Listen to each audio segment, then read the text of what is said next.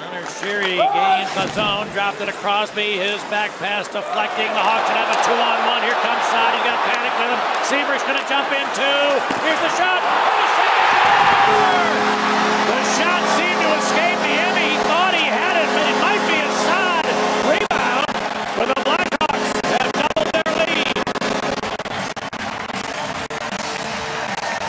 We talked about Antti Niemi giving up some loose change, and this shot by Richard Panik. I think he's looking for a rebound. The turnover by Pittsburgh just inside the blue line, and the Blackhawks get it going the other way in a hurry. It's Saad to Panik, and watch his shot. Places it right off of that far pad of Niemi, goes into Saad. I don't think Saad even gets it with his stick. Gets it with his body. The momentum carries it into the back of the net. And watch the shot here by Panik. Just trying to put it off that far pad. That's exactly where it goes. And off the bottom of the leg of Brandon Saad. He gets his first on the season. Blackhawks up 2 0.